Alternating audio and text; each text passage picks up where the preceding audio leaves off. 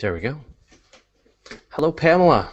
Hey, how are you doing? Good. And where are you now? I am outside of Lisbon, Portugal, in one of the suburbs. That's really cool. And you've been there. And so, what are you doing there?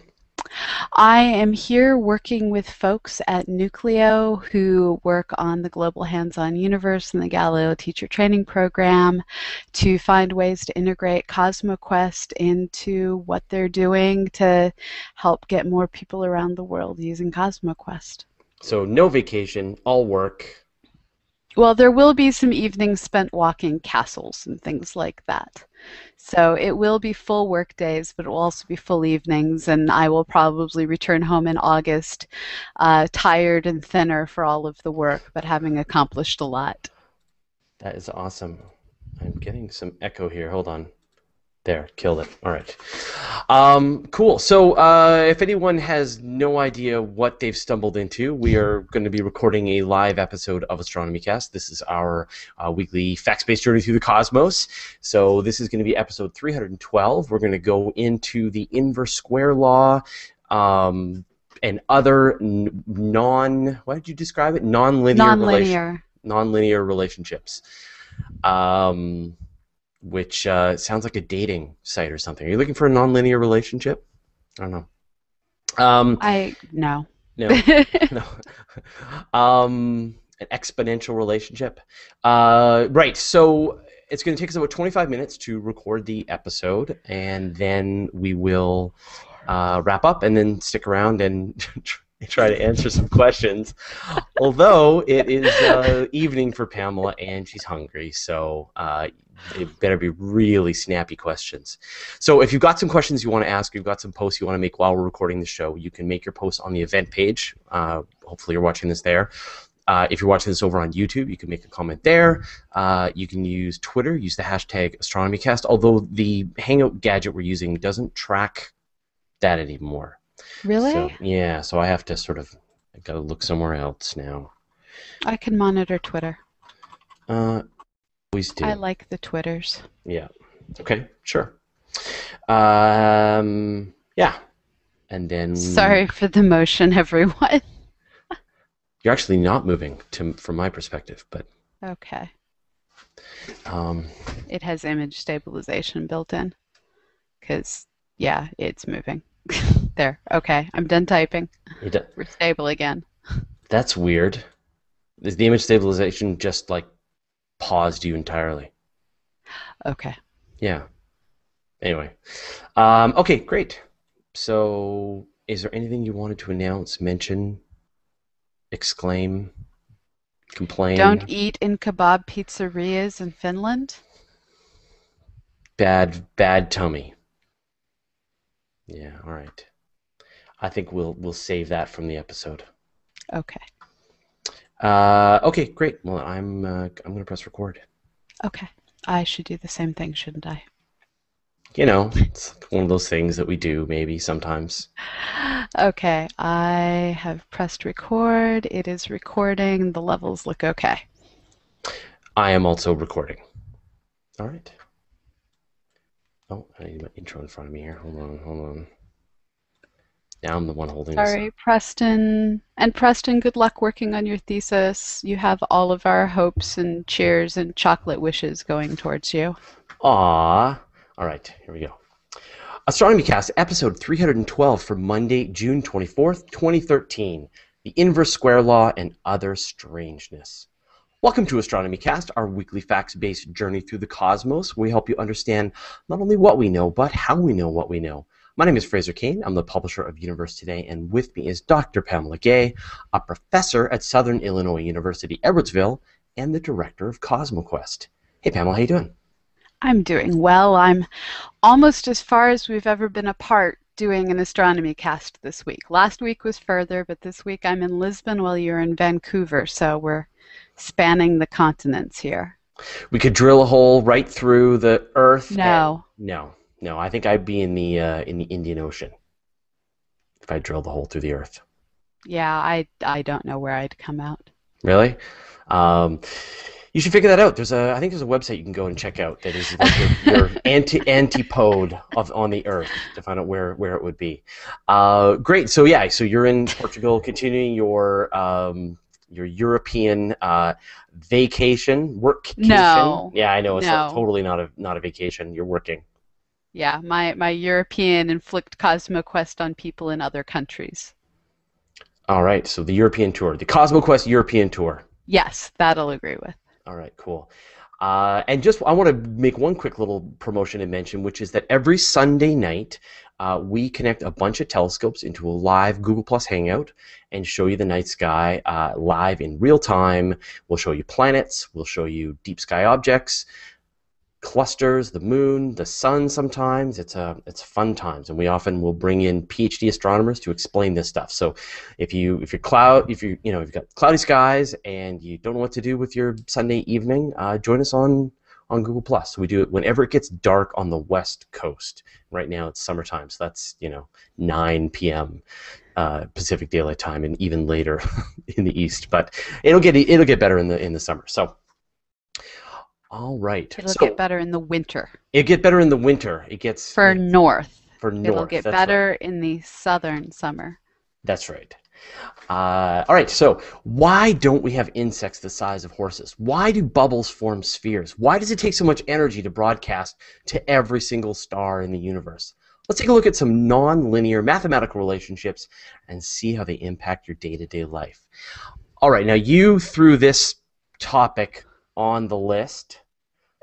You had a plan, and I, you know, I this is not my topic, and so I am going to just grill you to get to the bottom of this. Uh, but uh, right, so so let's sort of you know, sort of set the stage here. When you're talking about nonlinear relationships, what are you talking about? Um, so, so most of the time we are used to thinking of things that if you double them, you end up with four. If you triple them, you end up with with nine. So, so the numbers in that in that case, those that's not linear. Linear is if you increase this one by one, this one increases by one. You increase this one by two, this one goes up by two. So if you think about the um, difference between Johnny and Sally's ages, it it will always be the same because they grow up at the same rate, and so the separation stays the same. And if you do a plot of Johnny's age versus Sally's age, there'll be a line that's straight. And this is really the only kind of of those. mathematical concept that our poor human brains are really able to rock. In general, yes. You know, when you think Yeah. You know what I mean? I mean that, that we evolved, you know, on the savannah, and you know, if there's one more lion, we should bring one more hunter, right? and and it, in in school we all learned the whole y equals mx plus b there might be a slope to the line but it's still a line so it may be that you add one here and you add two thirds here if you add two here you add four thirds here but it's still a linear relationship so that that's what we're used to is is that straight line when you put the things on the two axes. Right. Okay. And so, but I mean, the universe sure doesn't like to play by the rules, and uh, doesn't like to play by our pathetic human concepts. It, uh, you know, makes its own rules. So, so then, what are the other kinds of n- the nonlinear relationships that can be out there? Well, so they, they basically come in polynomial form. This is where if I have my x value over here, so like how fast my car is going, versus how much gas goes into it. Um, the gas going into it hopefully isn't a power law, but you can imagine that it's y squared, y cubed, y to the four thirds. Anytime x equals y to the something that's a power, that's a power law. Right, and I, your, I think your gas analogy is a great one, right? Because you have the situation that the the harder you push down on the pedal, the you're not just using, you know, more fuel. You're using, you know, in many cases, you know, the engine is actually going to require a multiplier of the fuel. Right. You know, you And run that's your because the friction goes up, the heat goes up, the it gets more difficult to accelerate for mechanical reasons. Yeah. yeah, and harder. Yeah, exactly. That that friction harder to push through the air resistance as you're driving down the highway, until it becomes just like a brick wall of air. Right, right. Yeah. So then the other class of relationships that we tend to have are logarithmic relationships. Uh, so these are things that are powers of 10 or inverse powers of 10, which is where you get a logarithm basically. Um, inverse isn't quite the right, right way to think of it, but it's a shorthand. And this is where you've kind of pulled into my background, which is computer science, right? We deal with the logarithmic scales all the time. When you Right. you know, when you search or sort an algorithm in, you know, if you're going to sort a bunch of numbers, uh, that actually follows a logarithmic scale. So it's, you know, you can sort uh, a million numbers. You know, it's not a million times as hard as to sort, you know, a one number or a thousand numbers, right? Every time you go up, it actually follows this logarithmic curve. So it's, so it doesn't. What is it? Doubles every ten? How does how does the logarithmic function work? Uh, so so with with Eh, 10 is a eh, so 1 is to 0, 2 sorry, 0 is to 1, 1 is to 10, 2 is to 100, 3 is to 1000. Right, right. And so the, the the point is is that the you know it's a way that if your your numbers are going up in stupid amounts, you can Yeah. kind of flatten the curve down and show it in a in a much sort of reasonable way, as opposed to just this this line that just just goes straight up. Yes, Really exactly. Bring And it down and, and show it in a little bit more of a reasonable way. And and what's interesting is how many biological things, or at least the two senses of most importance that we have, our, our ability to see and our ability to hear, both work on logarithmic scales. The sounds around us vary by powers of 10, not by linear relationships. So when you turn your dial up to 11, it's not 11 times louder, it's it's tens and tens and tens of times louder. Right, and so it gets a lot louder, a lot more quickly. But at the same time, you've got this other problem in, in the case of that sound, right, which is that the sound trying to expand outward from the speakers is hitting, I guess, what we call the inverse square law, right? Right. So so here's where we start to get into where do these things matter. Yes. And and an inverse square law is a power law. It's just a power law with a negative sign in it. Um, so it if you have something that's radiating out, it it has to basically radiate radiate out over an entire surface. Uh, sound coming out of a speaker, it's not laser beamed to your ear with all the power from the speaker focusing the sound on your eardrum. Instead, it's radiating around away in a sphere, and so the energy gets spread out over the surface of the sphere. And for every distance that it goes, the area proportionately goes up by the square. So take the energy, divide it by the area, and if the area is going up by the square, that means the energy the energy per small area on that surface is going down by the square. All right, now let's bring it home to astronomy, which is, I think, you know, I think what people are, are hoping to hear. Uh, so, so give us some examples then in astronomy where we deal with this with this power law because I mean it, it feels very mathy and I know a lot of people are starting you know their eyes start to glaze over with the math but but this is core to a Right. lot of the calculations that astronomers have to do with gravity and light and brightness and luminosity and sound and earthquakes and all this kinds of stuff it all follows this exact same system Right. I, I'd argue that earthquakes are probably more planetary science than astronomy, but let let's let's tie it back planetary down to geologist physics. sure physics, astronomy, space science. So, so the most fundamental place that we worry about it in astronomy is light as it radiates away from a star has to fill this entire sphere of space, um, and fill the surface, not fill the inside. You can have a flash of light, and that's a shell that radiates away.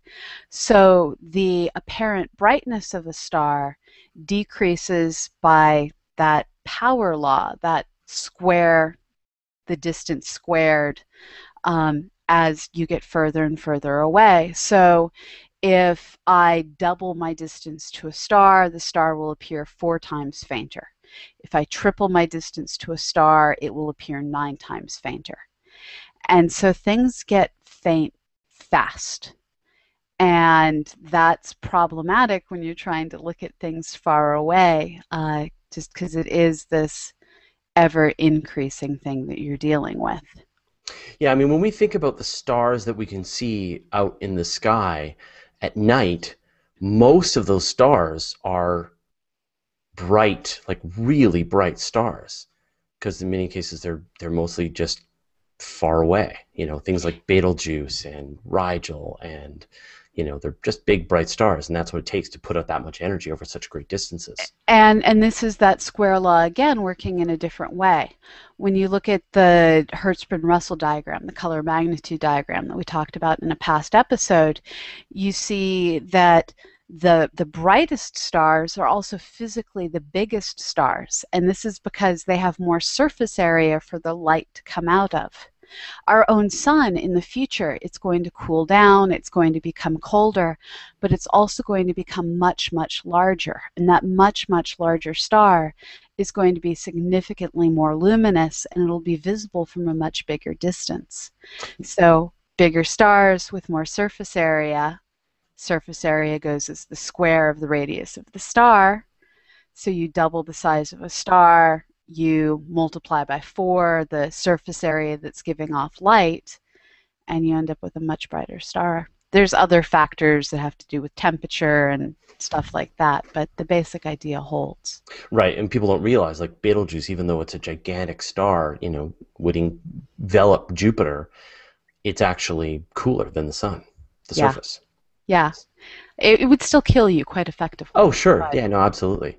Uh, okay, so so that's a good example, right? And I think that exact same thing, it you know, sort of comes back to this concept of searching for extraterrestrials, right? That if you were attempting to broadcast a signal out into space to reach any distance, you're going to require a ton of power Right. And and this is one of those things if you've ever walked too far away from your Wi-Fi antenna at home, you know how quickly you go from 5 bars to 0 on your laptop. Well, think about how quickly you go from detectable to not detectable as you move away from the planet Earth. Yeah, we sent episodes of I Love Lucy. Yes, we sent the opening games in, in, the opening of the games in Germany from the Olympics with Hitler into outer space. But those signals are so amazingly weak that uh, they're they're going to be very quickly imperceptible against the background noise of the universe. Uh, so trying to detect aliens from radio signals, the way we're o- the only way we could probably ever succeed is if they were purposely beaming a message into space and we just happened to look the right place at the exact right time. So you actually think that the power requirements are so high that it would take an alien beaming a, a signal directly at us?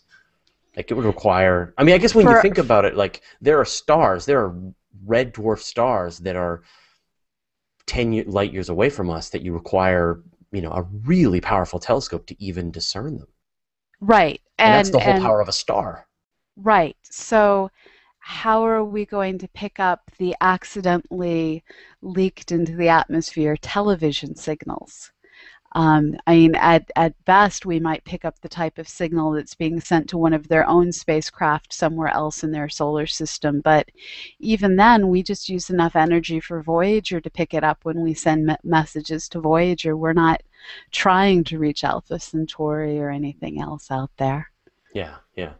Um, okay, so then now what about gravity? How does gravity sort of follow a similar role?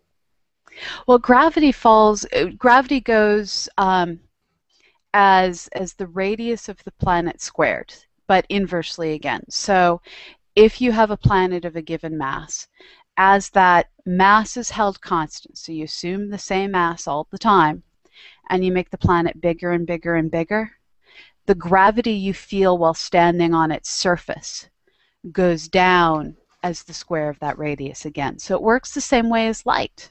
Mhm. So just like the light gets, you you double the radius, the light goes down by a fourth. You double the radius of a planet, a gravity goes down by a fourth. Now the thing is, you're fundamentally changing a planet when you take a rocky planet and you try and blow it up with some unknown weightless nothing.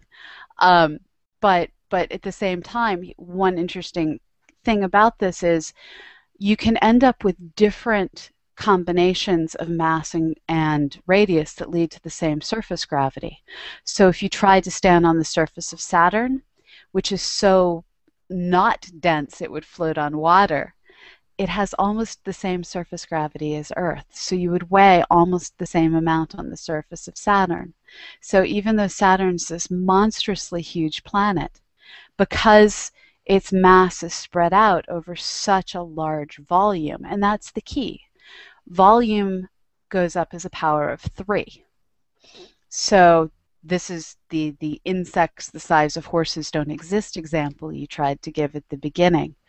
Um, a if I have a sphere of material and I double its radius, its surface area goes up by a factor of four, and its volume goes up by a factor of 8, which is the cube of that 2. So 2 times 2 times 2 is 8.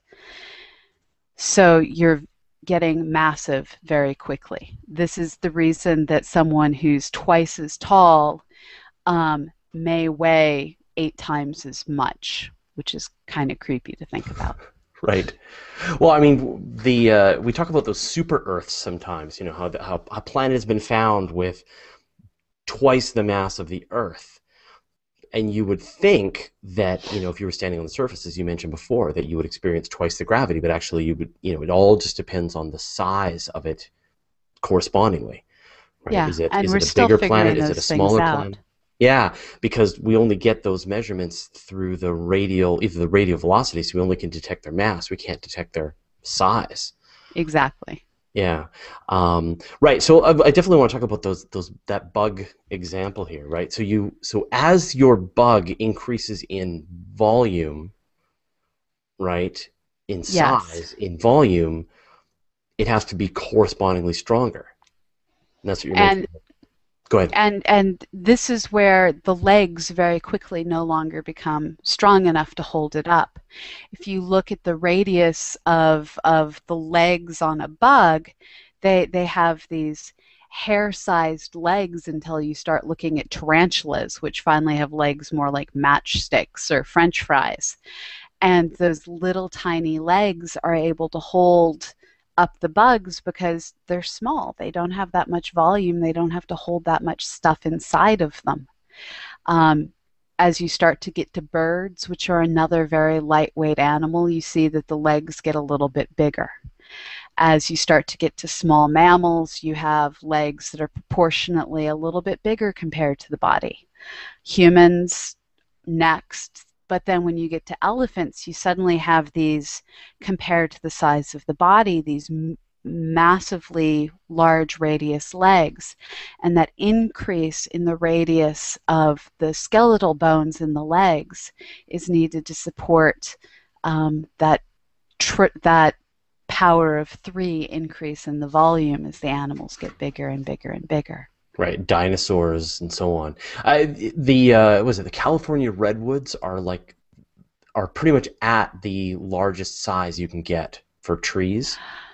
Just you know that they can't pull water anymore up to the Yeah. top if you got any bigger. They just you know the hydrostatic system they use to bring water out just you know just doesn't work anymore, and there's no Yeah. sort of bigger possible tree. So nature has tested that. And the other example I used in my introduction, right, with a balloon. I love the thing I love about a balloon or like a like a bubble when you blow a bubble is you're you're seeing the math made for you right there. You know, you get this bubble, you know what the radius of the bubble is because you can see it and you can see the size and surface area and the volume of the bubble and it's following this exact same rules. It's trying to match its volume versus its surface area to the minimum size. Right. So so the most stuff that you can fit within a given surface area is fit inside of a sphere. Something like a pyramid is an extremely um, inefficient shape. where where the uh, surface amount of surface area you have is uh, greater than necessary to contain the volume. So, what are some other situations in space, maybe you know, in astronomy, where we're going to see the same relationship play out? You know, what do astronomers need to deal with, or even spacecraft uh, engineers need to deal with as they're sending probes out to other places to be able to communicate with them, to you know, some of their trajectories, some of the gravitational flybys, things like that? Well, as we look at all of the different orbital mechanics equations, there's always a to the power of the square root, there's a cube, a square. So just looking at, at Kepler's equations, we have uh, the period, uh, the amount of time that it takes an object to go around its central mass squared is proportional to um, it's a semi-major axis distance. You take the ellipse, you cut it in half on the long side, you measure that length, is, is equivalent to that semi-major axis cubed. So here you have one thing that's squared related to something else that's cubed, now plot and uh, so you end up with some fabulous curves. And what what's awesome is if you're ever digging through an old professor's drawers, finding the fancy curve devices they had to try and draw all of these old plots back in the days when you had to turn in hand-drawn plots to journals. Really? Yeah, yeah. I, what did one of these things look like? Well, they, they just have on them the various here's a square, here's a a cube, and and so they have these tightening cubes that represent the tightening curves, rather that represent the different mathematical relationships. So you found the part that you needed and fitted it to the points on your paper. Like a Spirograph kind of. No, the spirographs were the things you did this with. You you had the the circle that you put inside the other circle with a gear, and you made flowers basically. No, this was this was like a stencil that you might use to draw circles today, except part of the stencil was it had these curves, and then you'd have to figure out where on this tightening curve the particular curve you needed happened to fall. It's like finding, uh, you know, an old slide rule. Yeah, yeah. Do you know how to use the slide rule? No, no clue. Someone no showed me once when I was in the 11th grade, and I knew how to do it for about a week and then forgot. I think another good example of this situation is, you know, for example, people always talk about the planets, you know, astrology, and they talk about how the planets are, are aligning and it's going to have some nonsense effect on you but the reality is that you know you're experiencing a you know a zillion I believe is the right math times more from just the gravity of the of the Earth and the Moon. You know, but even that's well, not very much. You're feeling more gravity from mountains, right? Because the distance. And and the the more important the more important thing is if you calculate the mass of a semi truck driving past you, um, or not the mass, if you calculate the gravitational pull of an average massed semi truck driving past you, its pull on you as it drives past is going to be greater than that of any of the planets outside of Earth. Yeah. So, if unless you're plotting the movements of the local fleet of shipping trucks and trains, um, I don't think you can correctly compensate for for their effects relative to all of the other planets. Yeah, it's like the tides, right? The the majority of the tides comes from the moon, not the sun. Even though the moon is, you know, it's just because the moon is closer. Even though the sun is yeah. has has much much more mass than the moon, it's just that the moon is closer, and so we experience yeah. more gravitational effect from it. Yeah. Cool.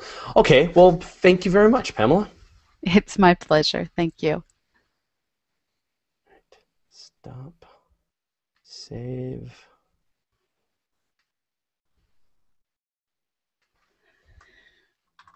Okay. Don't go anywhere. I'm trying not to, although I may be occasionally rotating my screen. Not you. I'm talking about the people who are watching this. Okay. Clearly, I'm tired and hungry. tired and hungry. Yeah. Too bad. Um, all right, let me see. So uh, Michael Jobin says when you co-phase two 5 dB antennas, you don't get 10 dB, you get uh, 7.5 dB. So I think that's a great example. Yeah. Um, Welcome to your Pamela. Could you guys do an episode about Jupiter's moon, Callisto, and Ganymede? Maybe adding some information on the most recent plans of ESA and NASA to send probes and missions. So we did an episode about Jupiter's moons. Uh, this so this comes from Calendorian. Uh, we did an episode about Jupiter's moons in the 50s somewhere, 55, 56, I think. We Not the 1950s, the 50 in the 19 in the 1950s we've been doing this show for that long in the 1950s we did an episode uh, about the uh, yeah the cold war no uh, sorry about uh, about jupiter's moons and we put a lot of effort into the jovian moons we we tend not to talk about future missions because they just get canceled and explode. and explode and so That Russian rocket was kind of amazing. like we're you keep punting the curiosity episode just because I'm you know- waiting for science returns, and they're starting to get them. Yeah, yeah. So so that's it. So just like this is Pamela's level of conservatism. Now I am glad to do episodes about all kinds of speculative uh, nonsense, but Pamela's the one who kind of, you know, It's Keeps supposed me to be a leashed. Facts. show. exactly. And and for example, like we haven't done an episode on on James Webb, and you know we're just gonna wait till it launches and does its thing. We haven't done an episode on New Horizons yet. and unfurls. and unfurls Yeah. its beautiful uh, yeah telescope. And yeah, we haven't done an episode about New Horizons yet. Same thing. You know, we're waiting. Boy, as soon as it crosses Pluto in 2015, we will be all over that. So I can't wait to see pictures of Pluto. It's gonna be so great. We, we you know we in the space journalism world we have to use the same images of Pluto again and again and again. There's like four images of Pluto, and we just keep Mhm. recycling them. I cannot wait. You know, there's a whole rest of the universe you can write articles on. Yeah, but if I'm going to have to write an article on Pluto, I'm going to need that image. You can use the image of the telescope that was studying Pluto. Then what?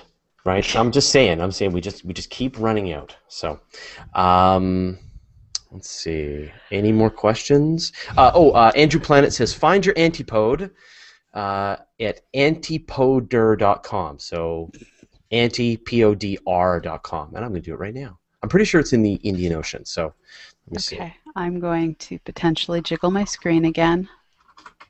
Okay, let me see. It's A N T I P O D. Yeah, A N T I P O D R. Yeah, so I am the closest landmass for me in Courtenay, British Columbia, is like some little island, the French Southern and Antarctic lands.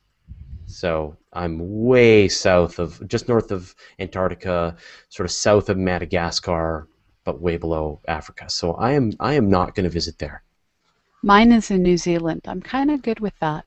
From home. But what about now when you're in Portugal? Uh, no, no, from Lisbon. It's in New Zealand. Oh, I okay, didn't Do right. home. I should do home. Yeah. Hope you're all doing this as well.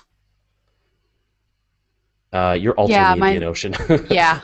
Yeah, Right. we can see each other in the Indian Ocean. Yeah, separated by you know four thousand miles. Um, cool. Well, that's a great tool. That's awesome. I'm gonna I'm gonna share that somewhere. Twitter.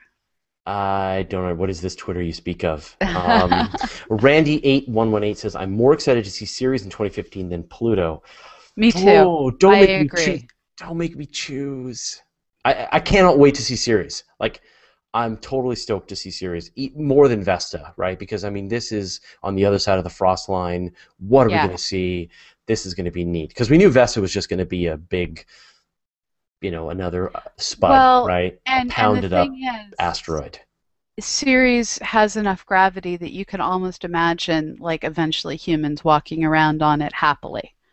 Not like, I mean, no atmosphere or anything, but it's moon quality, not too hard to get to in the grand scheme of things. Let's go hang out. And um, yeah, I'm excited about Ceres. I don't see us going to Pluto. It's it's it's an iceberg in the outer solar system. Uh, Graham Stickings uh, has a great suggestion for an episode, actually. These mathematical relationships prove Professor Marcus du Sautoy's point that maths is the queen of the sciences. Maybe you could do something on values that occur in nature, like pi, e, and root minus 1. And I think Didn't we do something like that? we did an episode on some fundamental numbers, like omega and and Okay. and things like that, but we haven't done sort of some of the other natural. I don't Yeah. know. we- should take another crack at it. I think I think it's a great idea for a for. an- And and for those of you who don't already know about it, there's a fabulous video series called 60 Symbols that does this in huge detail. So Yeah. we're not going to replicate what they did because we can't. It, No. It's amazing. yeah, um, and they're way beyond sixty. I think at this point they've Yeah, yeah. Yeah, So um, fantastic. Yeah, check that on YouTube. It's called Sixty Signals. yeah, Um, cool. symbols. 60 Sixty symbol. symbols. Yeah. It would be cool if we had 60 sing- signals from somewhere. From space. Space. Okay. Uh, well, I think I've got that's all the questions that I'm seeing. Okay. Um, and I know that you're sleepy, so why don't we uh, why don't we wrap this up? And Um, we will be doing this again next week, although the week after is still questionable, so we may hide an episode in a random moment. and in a random place. Yes. Yeah. Okay. Well, no, it'll definitely be in Lisbon. I'm not going to do wild podcasts from Greece. Are you going to be in Greece next? Yeah. Wow. Okay. That's awesome. All right. Cool. So the next thing that is happening. Uh, There will be a pre recorded learning space going up on Wednesday. okay. And then we're going to do the weekly space hangout on Friday. Yep.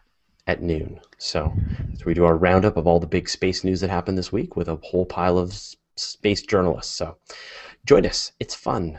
Uh, and then the uh, virtual star party on Sunday night. So, all right. Well, thanks, Pamela. good. And thanks, everyone, for joining us today. Really appreciate it. And uh, we will see you all next time.